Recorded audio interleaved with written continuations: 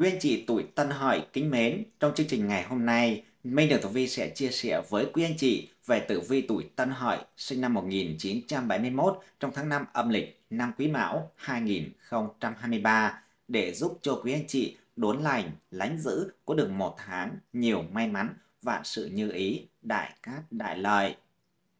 Và tuổi Tân Hợi sinh năm 1971 được các nhà chiên tinh học, nhà tử vi học phương Đông đã dày cầu nghiên cứu dựa trên sự dịch chuyển của các chòm sao, sự chuyển biến của thiên can, địa chi và ngũ hành trong tứ trụ luận mệnh chu kỳ 60 năm của đời người đã chỉ rõ đúng tháng 5 âm lịch năm Quý Mão 2023, vận trình của quý anh chị tuổi Tân Hợi sẽ trải qua một tháng hung cát ẩn tàng có nhiều biến động nhưng nếu như bạn mệnh cứ nghiêm túc cố gắng thì sẽ tự tay cải biến được số mệnh của mình và từ đó những dấu hiệu may mắn cũng sẽ đến. Những người tuổi tân hợi hiệu duyên xem được video này nên biết tận dụng để nắm bắt thời cơ để giải hung hóa cát mà chuyển thời đổi vận, cải biến vận mệnh đi tới cuộc sống an bình, thịnh vượng, giàu sang, phú quý.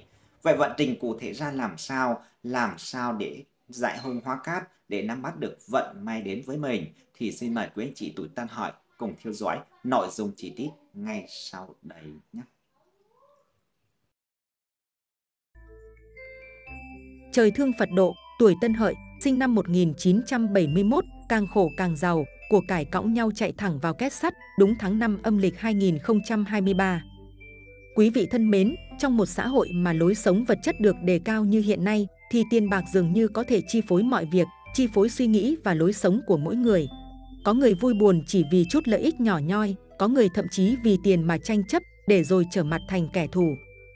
Thế nhưng ở đời nào có ai chuyện gì cũng được xứng ý, toại lòng, mọi chuyện suôn sẻ theo đúng như ước nguyện, mà kèm theo đó là trùng trùng thử thách, trùng trùng hoạn nạn, bắt buộc ta phải trải qua.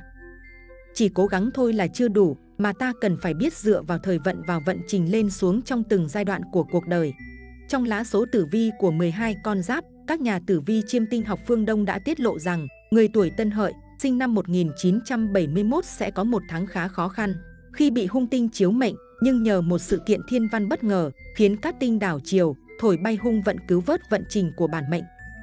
Tuy nhiên, để có được kết quả mỹ mãn, bắt buộc, tuổi này cần cố 200% sức lực.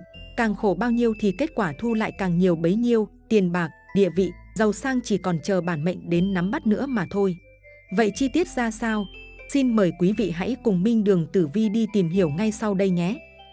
Trước hết, xin mời quý vị hãy cùng điểm qua đôi nét tổng quan về vận trình tử vi tháng 5 âm lịch của tuổi Tân Hợi, sinh năm 1971, cùng với đó là những nét tính cách độc đáo, khác biệt, giúp phân biệt tuổi Tân Hợi với những con giáp khác. Theo tử vi, tháng 5 âm lịch là tháng Mậu Ngọ hay tháng Lựu Nguyệt, được tượng trưng bởi loài hoa lựu và hoa lan chuông, loài hoa biểu trưng cho sự cao quý. Hoa lan chuông thể hiện rằng bạn rất ngọt ngào và khá cầu toàn, tỉ mỉ. Tháng Mậu Ngọ, năm Quý Mão, có thiên can là Mậu địa chi là Ngọ, cầm tinh con ngựa, ý nghĩa tháng này là cầu nối bước sang mùa hè, khi đất trời đã bắt đầu ngập tràn những ngày nắng. Tử vi tháng 5 năm 2023 tuổi hợi âm lịch cho thấy bản mệnh khéo léo và biết ứng biến nhanh nhẹn trong những tình huống khó khăn, nhờ thế mà bạn có thể biến nguy thành cơ trong thời gian ngắn. Tương xung ảnh hưởng tới vận trình sự nghiệp của bản mệnh, khiến những kế hoạch dường như đang rất ổn thỏa, có thể tự nhiên chệch khỏi đường dây. Thế nên bạn phải tốn công tốn sức khá nhiều trong việc điều chỉnh lại mọi thứ, mặc dù không phải đối đầu những việc không thể xử lý, đôi khi bạn vẫn cảm thấy chán nản, muốn vứt bỏ hết tất cả. Xem ra tháng này muốn lười cũng không được, ngũ hành xung khắc tác động tiêu cực tới mối quan hệ trong gia đình, căng thẳng có thể kéo dài cho dù bạn đã xuống nước và muốn xin lỗi. Bạn cần thêm một thời gian nữa để người ta hiểu ra tình hình, không nên ép họ phải hiểu bạn ngay lập tức. Mọi việc lên xuống thăng trầm theo cảm xúc của bạn, tháng này bạn có xu hướng hành động quá cảm xúc, việc này khiến công việc không đủ phân minh. Nếu cứ để tình cảm vướng mắc ảnh hưởng tới cuộc sống sẽ khiến bạn bi lụy và không thể làm gì. Nguyệt lệnh lâm thai đại diện cho sự chuyển hóa, tiến triển trong tháng này. Vì thế, nếu nhận ra việc gì cần thay đổi thì bản mệnh nên cố gắng tập trung sửa chữa ngay. Kết quả lúc này rất đáng kể, bạn không nên trì hoãn, sẽ lãng phí đi các nguồn lực đang có. Và sau đây sẽ là tử vi chi tiết từng phương diện trong tháng 5 âm lịch cho tuổi Tân Hợi, sinh năm 1971, vận hạn, may mắn và cách hóa giải giúp bản mệnh, đón lành tránh dữ, gặp hung hóa cát. Về mặt sự nghiệp, căn cứ vào tử vi tháng 5 năm 2023 của 12 con giáp âm lịch, nhiều cơ hội mới mở ra, nhưng bạn cũng phải thận trọng trong việc chọn lựa, khi vàng thau lẫn lộn thì càng đòi hỏi bạn phải tỉnh táo trong phán đoán. Nhưng nhìn chung không có nhiệm vụ nào quá khó, nếu bạn đủ tập trung để xử lý vấn đề, mọi việc đều nằm trong tầm kiểm soát của con giáp tuổi hợi cả. Thiên vu cát tinh giúp con giáp tuổi hợi phát huy được khả năng ăn nói của mình, thậm chí bản mệnh có thể biến nguy thành cơ nhờ vào việc ăn nói khéo léo, thu phục lòng người. Chính quan tràn đầy cảm hứng, được đồng nghiệp lắng nghe và cấp trên đánh giá cao. Khi được khen ngợi, bạn càng làm việc chăm chỉ, hăng say hơn, không nề hà bất cứ việc to nhỏ lớn bé gì.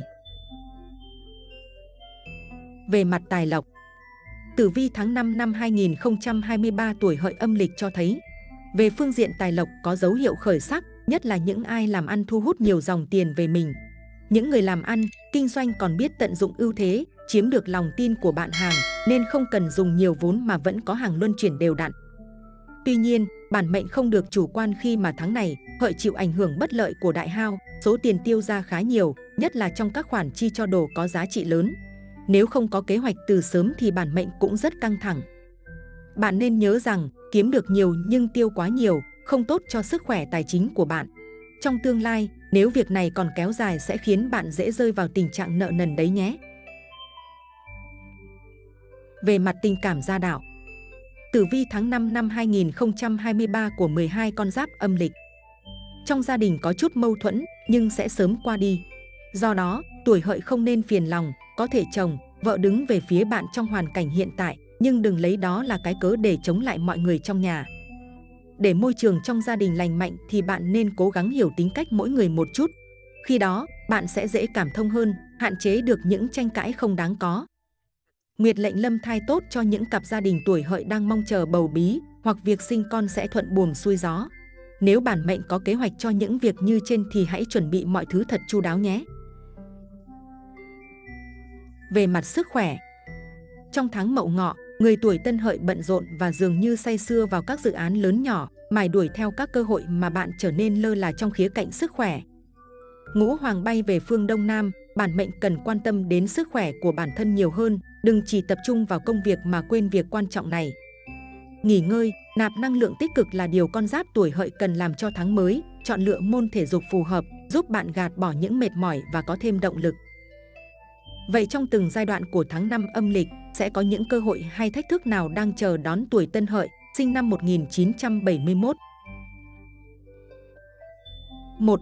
Tử vi 10 ngày đầu tháng 5 âm lịch Người tuổi tân hợi, sinh năm 1971, trong thời gian này có điểm báo, thăng tiến về công danh, sự nghiệp.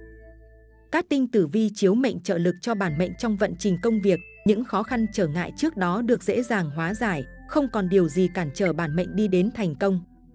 Càng về cuối vận thế càng phát, có lẽ bản mệnh sẽ được giao cho nhiều trọng trách, hãy tập trung vào công việc của mình và phát huy hết năng lực của bản thân. Nếu có thể, thì chớ nên tham gia những chuyện bao đồng để tránh những điều bất chắc do họa khẩu thiệt thị phi gây nên.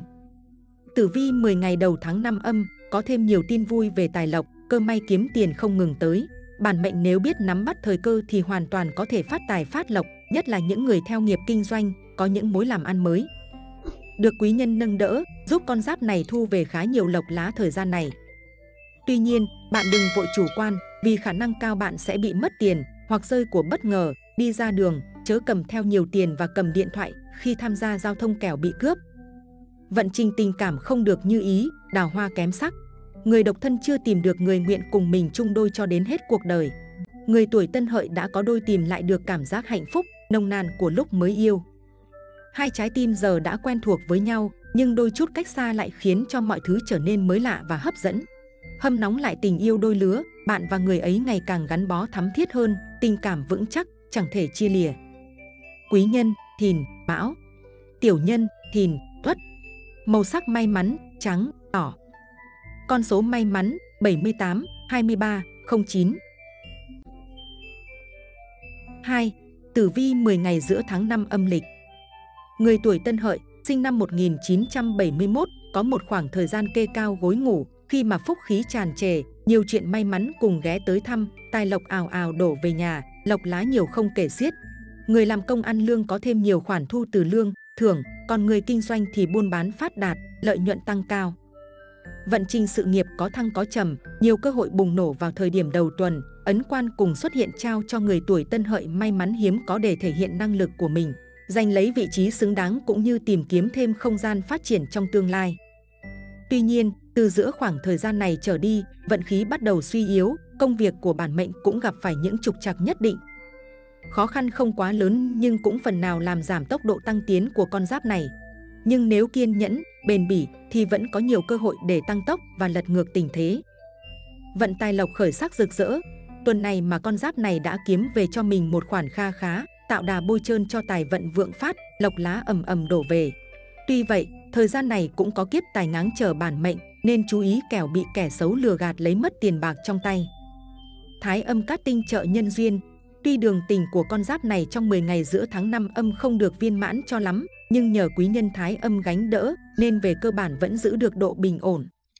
Đôi lứa sau tranh cãi, bất đồng vẫn về lại bên nhau, không còn giận hờn mà yêu thương nhiều không kể xiết. Quý nhân, dần, mùi. Tiểu nhân, dậu, ngọ. Màu sắc may mắn, hồng, vàng. Con số may mắn, 56, 09, 22. 3. Tử vi 10 ngày cuối tháng 5 âm Xem tử vi 10 ngày cuối tháng 5 âm cho người tuổi tân hợi.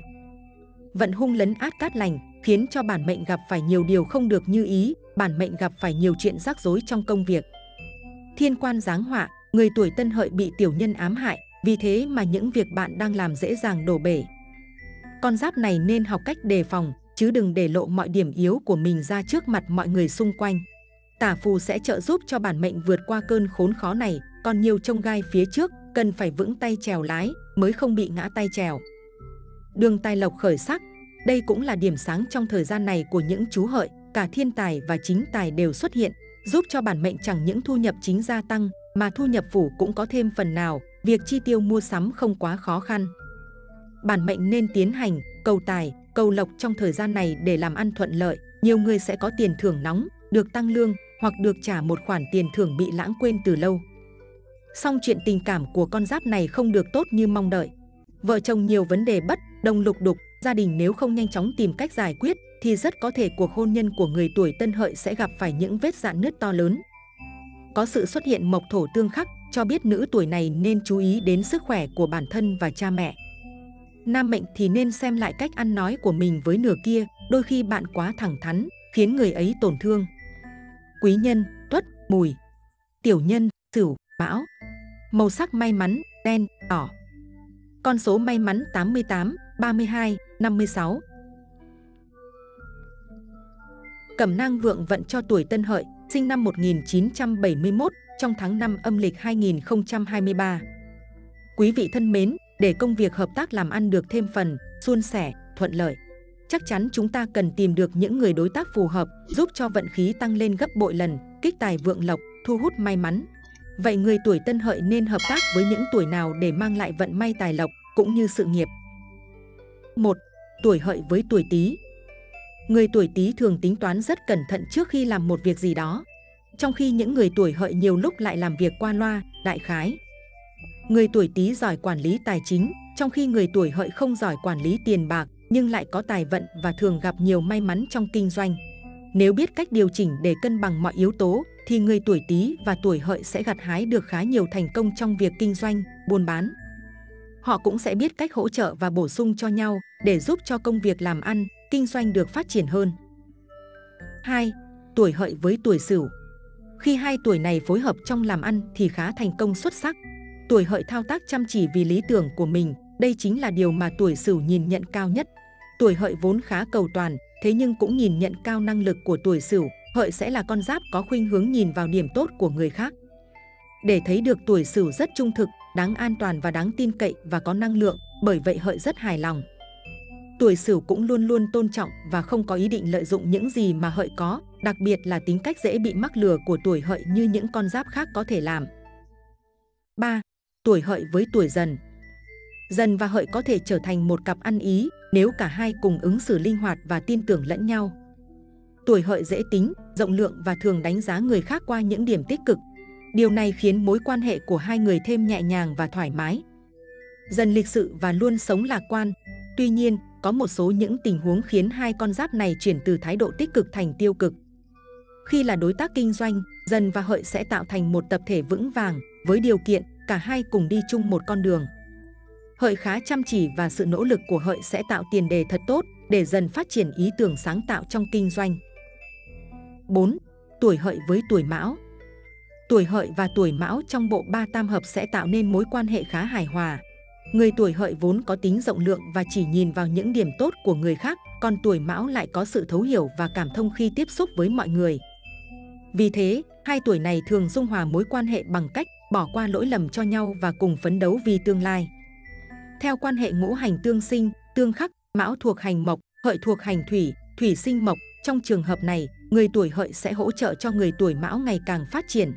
Tuổi hợi sẽ hỗ trợ tuổi mão phát huy năng lực. Trong công việc, người tuổi hợi sẽ giữ vai trò làm người đi đầu, trong khi người tuổi mão sẽ gửi chọn niềm tin vào họ. Tuổi hợi sẽ lắng nghe ý kiến của mão và cùng nhau xây dựng một sự nghiệp vững chắc. 5. Tuổi hợi và tuổi thìn Thìn rất thích không khí tự do mà con giáp tuổi hợi mang lại. Đôi khi con giáp tuổi thìn phải kiềm chế sự bực tức vì cảm thấy tuổi hợi hơi lười. Trên thực tiễn, con giáp tuổi hợi không hề lười khi tin vào tiềm năng của mình. Nếu hai con giáp là những đối tác chiến lược làm ăn, con giáp tuổi thìn với nguồn năng lượng dồi dào và đầy ý tưởng sáng tạo, phát minh sẽ đóng vai trò là người ở tiền tuyến, thôi thúc quy trình kinh doanh thương mại liên tục đi lên. Người tuổi thìn vốn là con giáp ưa mạo hiểm và thường gặp may mắn, còn con giáp tuổi hợi thì rất vui vẻ thực hiện mục tiêu chung của hai người dưới sự lãnh đạo của tuổi thìn. Bởi tuổi hợi vốn thích thú chăm sóc những người hoặc công việc mà mình yêu thích, cả hai hành tinh đều rất trung thành và tin tưởng lẫn nhau. 6. Tuổi hợi và tuổi tỵ Mâu thuẫn nằm ở chỗ giữa tỵ và hợi thiếu những cuộc hội thoại mang tính chất xây dựng, tuổi tỵ thường hay sống bằng trực giác hơn là dựa vào logic của sự việc. Bởi vậy, nên con giáp này thường hay đưa ra ý kiến chủ quan và hay nói vòng vo mà không đi thẳng vào vấn đề. Con hợi thì nhút nhát nhưng khá rộng lượng trong các mối quan hệ, nhưng khi có hiểm khích xảy ra, ngôn từ của hợi khá thâm hiểm. 7. Tuổi hợi và tuổi ngọ Ngọ nổi bật trước đám đông bởi sự hài hước, dí dỏm và thông minh, điều này làm hợi mê mẩn. Hơn thế nữa, tuổi ngựa còn rất hấp dẫn tuổi hợi bởi sự hào phóng, sự rộng lượng và xử lý tình huống nhanh. Hợi khá dễ tính và chiều ngọ, nên mối quan hệ của hai người rất ổn thỏa. Tuy nhiên, nếu mối quan hệ của họ càng kéo dài thì càng nảy sinh nhiều vấn đề, đòi hỏi cả hai người phải cùng nỗ lực. Trong kinh doanh, cả hai tuổi này đều rất chăm chỉ, nhưng họ phải tìm công việc hấp dẫn cho cả hai người thì mới duy trì được lâu. Ngọ chỉ đạo công việc rất tốt, nhờ khả năng quản lý và bao quát công việc, con Hợi sẽ đảm nhiệm các việc cần sự tỉ mỉ, cẩn thận. Nói chung, Hợi sẽ rất tích cực là hậu phương vững chắc của Ngọ. Tuổi hợi đánh giá rất cao sự thông minh, nhanh nhẹn và quyết đoán trong công việc của tuổi ngọ. 8. Tuổi hợi và tuổi mùi Trong làm ăn, kinh doanh, cặp đôi con giáp tuổi mùi và tuổi hợi hợp tác sẽ xây dựng được một công ty có tiếng tăm và uy tín. Cặp đôi này có thể gặt hái được nhiều thành công nếu biết chọn lĩnh vực phù hợp với khả năng và đầu óc tinh tế của bản thân. Nhìn chung con giáp tuổi mùi khá may mắn nên luôn có được những thành công bất ngờ trong kinh doanh. Tuy nhiên, Tuổi mùi không được thực tế cho lắm, vì thế vấn đề tài chính nên để cho con giáp tuổi hợi làm chủ. Tuổi hợi là người chăm chỉ trong công việc và dễ dàng làm theo sự chỉ dẫn của người khác, bởi vậy con giáp tuổi mùi là người nắm quyền lực là hợp lý nhất. 9. Tuổi hợi với tuổi thân Hai con giáp, tuổi thân và tuổi hợi có nhiều niềm vui khi ở bên nhau bởi vì cả hai luôn là mẫu người vui vẻ và có suy nghĩ rất tiến bộ và nhạy cảm. Hợi yêu thích đồ ăn ngon, thích tản tính, Họ dễ cảm thấy vui vẻ bởi những việc rất đơn giản như được ngủ trên một chiếc giường thoải mái hay được tắm hơi dễ chịu, vân vân. Còn tuổi thân lại tỏ ra chơi bời và có phần cầu kỳ hơn, họ là người yêu thích những cuộc vui tiệc tùng bên ngoài, chứ không phải là ở nhà bởi họ thích tự do, vui đùa. Xem xét trong công việc làm ăn, kinh doanh, nếu hai tuổi này biết hợp sức lại với nhau, thì tuổi thân và tuổi hợi sẽ có thể xây dựng được một sự nghiệp vững chắc và thịnh vượng. Tuổi thân là người thích lãnh đạo và thường là người đại diện của công ty đi giao thiệp với khách hàng, thuyết phục mọi người bởi họ có kinh nghiệm cũng như là người khá bạo dạn. Còn người tuổi hợi thì luôn làm việc chăm chỉ theo sự chỉ dẫn của người khác. Tuy nhiên, tuổi hợi cần phải biết cách để giúp tuổi thân tránh những rủi ro không đáng có. 10. Tuổi hợi với tuổi dậu Người tuổi dậu ghét cay ghét đắng sự bừa bãi. Trong con mắt của họ, hợi là mẫu người chỉ thích hưởng thụ, trong khi đó, hợi lại là con giáp khá dễ tính, ít khi để ý tới những điều trên, chỉ thích sự xa xỉ, thừa thãi. Bởi vậy, khi kết đôi thì dậu sẽ là người phải chịu trách nhiệm chính trong việc thu dọn mọi thứ, giữ chúng nằm trong trật tự để duy trì mối quan hệ hài hòa. Là đối tác kinh doanh, dậu và hợi thường thành công khi biết phát huy thế mạnh của mình trong các mối quan hệ. Trong phân công lao động, người tuổi giàu thích hợp đảm nhiệm các công việc tỉ mỉ hoặc liên quan đến tài chính. Hợi vốn chăm chỉ và định hướng tốt, rất phù hợp với việc tiến hành các kế hoạch mà dậu đã lập. Bên cạnh đó, Hợi sẽ đảm nhiệm cả những nhiệm vụ liên quan đến khách hàng, bởi trong lĩnh vực này, Hợi có khả năng làm tốt hơn Dậu. 11. Tuổi Hợi với tuổi Tuất May mắn là Hợi khá nhạy bén và tế nhị, nên Hợi để tốt hài lòng. Bởi vậy, chuyện này không gây nhiều phiền toái tới mối quan hệ của hai người. Người tuổi Hợi đôi khi để Tuất lấn tới, nhưng Tuất thì lại không hề như vậy, bởi con giáp này khá trung thực, thẳng thắn. Nếu hai con giáp này là đối tác làm ăn, Tuất với năng lượng dồi dào và tài ngoại giao sẽ đóng vai trò là người tiền tuyến. Hợi chăm chỉ làm việc và làm việc có kế hoạch sẽ trở thành cánh tay phải đắc lực của Tuất. Tuất cũng rất chăm chỉ, đặc biệt với những công việc yêu thích. Tính thích ổn định của Hợi và tính trung thực của Tuất sẽ giúp công ty chung của họ phát triển tốt. Bởi vậy, hai con giáp này sẽ kết hợp rất tốt trong chuyện làm ăn. 12. Tuổi Hợi với tuổi Hợi nếu hai người tuổi hợi là các đối tác kinh doanh, thì họ nên chọn ngành nghề nào mà cả hai cùng có niềm tin, nếu không họ sẽ phải làm việc rất vất vả. Tuổi hợi không lười biếng, hợi không phải là con giáp lười biếng, họ có khả năng nỗ lực rất nhiều, với điều kiện họ phải tin vào việc đang làm. Văn phòng nơi hai người cùng con giáp này làm việc sẽ khá tiện nghi, thậm chí được lắp cả bồn tắm hơi, khách đến công ty sẽ được phục vụ rất tận tình và chu đáo. Nhân sinh cảm ngộ Quý vị thân mến, theo lời Phật dạy về hơn thua, sẽ chỉ ra cho bạn biết rằng để có thể nhẫn nhịn trước sự phản công dữ dội của một người nào đó, bạn sẽ phải là người thực sự khôn ngoan, hiểu biết. Câu chuyện Phật bỏ mặc kẻ chửi rủa mình Thời Đức Phật, có một số kẻ đối đầu, họ không thích Ngài và có lần một thầy bà La Môn lẽo đẽo theo sau chửi khi nhìn thấy Ngài, nhưng Phật cứ vờ như không nghe và thong thả đi. Thầy bà La Môn tức giận quá, chặn Phật để chặn hỏi. Ngài Cồ Đàm, Ngài có điếc không? Phật đáp, không. Không điếc, sao nghe tôi mắng chửi mà không có phản ứng? Ta không điếc, việc mắng chửi của ông có liên hệ gì với ta đâu. Phật liền nói, ví dụ như nhà ông có dỗ mời bà con quyến thuộc tới dự, khi họ sắp về, ông gói quà bánh tặng, những người ấy không nhận thì quà đó về ai? Ông bà La Môn đáp, nếu họ không nhận thì quà đó về tôi chứ ai? Phật bảo, cũng vậy, ông chửi ta mà ta chẳng nhận thì những lời mắng chửi đó xin gửi lại cho ông. Bài học rút ra ở đây là chẳng cần cố gắng dùng lời nói để chứng minh mình đúng, cho dù là phải đối mặt với lời phỉ báng hay bị người khác công kích, họ cũng có thể dùng hành động để chứng minh mình vô tội và trong sạch. Đừng cho rằng tranh hơn thua là hay, vì chúng ta càng vướng vào phiền não, rõ ràng, nhẫn nhịn là điều hết sức quan trọng, không phải việc thường, vì thế chúng ta phải rèn luyện đức nhẫn nhịn mạnh mẽ, như vậy việc làm mới thành công. Chúng ta đều hiểu rằng những đấu đá hơn thua đều mang lại kết cục không tốt đẹp, thế nhưng không phải ai cũng có thể kiềm chế bản thân, lấy nhu thắng cương. Do đó, theo lời gian dạy của Phật, chúng ta phải biết kiềm chế bản thân.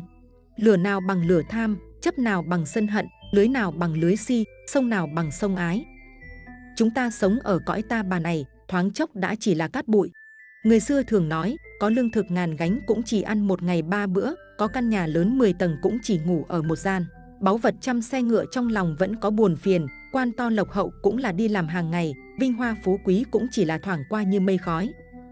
Con người đối với nhau lại thường xuyên ganh đua đấu đá, chỉ khiến chúng ta hao tâm tổn trí, cuối cùng mang theo được những gì. Lấy không giận thắng giận, lấy thiện thắng không thiện, lấy thí thắng gian tham, lấy trơn thắng hư ngụy.